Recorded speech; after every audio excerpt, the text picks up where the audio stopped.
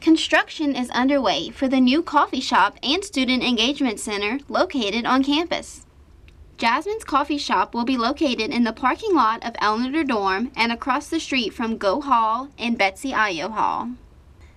Executive Director of Auxiliary Services, Brenda Haskins, discusses new menu items at Jasmine's Coffee Shop. We'll still have those pastries and we'll still have that good coffee, but we're going to add uh, something to the Jasmine menu. We're adding beignets and homemade cinnamon rolls.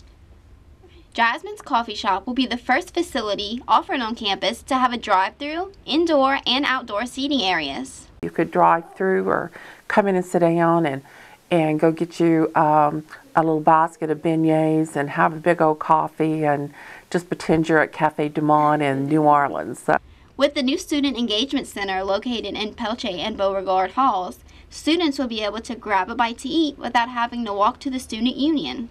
According to Ms. Brenda Haskins, these new centers are to be looked at as community centers for students. we look at them as community centers placed around campus, especially where there is traffic and where students would go together, they'd study, they maybe would visit with their faculty. Um, so it is, um, it's just a place of relaxation, and but we hope by doing that that we're building community around campus.